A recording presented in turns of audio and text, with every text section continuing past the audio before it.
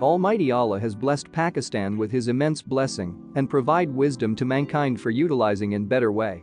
Worldwide, the production of energy from renewable energy resources has been increased significantly.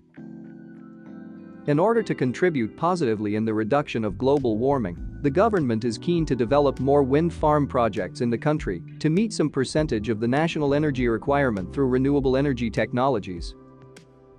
In this episode we will unfold the completed wind farms in Pakistan and details of under construction and upcoming wind power projects.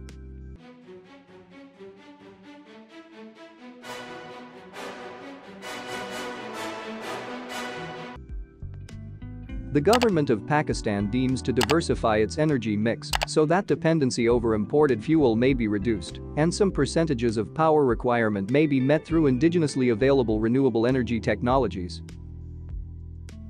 According to USAID report, Pakistan has the potential of producing approximately 150,000 megawatts of wind energy the officials identify that in only southern corridor including Gwadar and Makran coastal belt can produce over 40,000 megawatts of zero-carbon energy.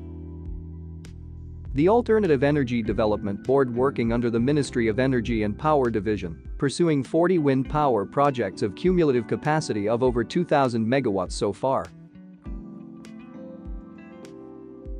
24 wind power projects of 1,235 megawatts capacity have achieved commercial operation and are supplying electricity to the national grid.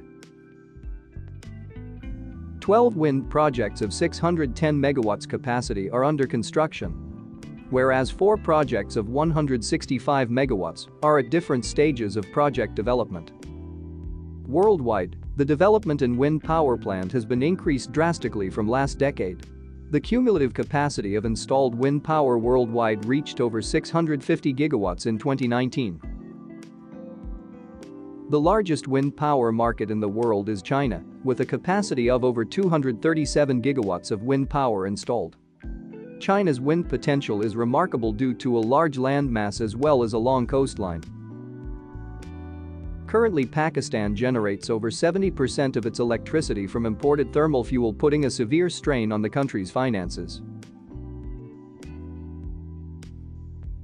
The government should motivate and provide suitable incentive to investors in order to focus on an urgent and time-based completion. The growing investment in the wind power is positive and an important step towards balancing the energy mix moreover it will help to uplift the social needs of surrounding areas such as education, clean water, road network and business opportunities.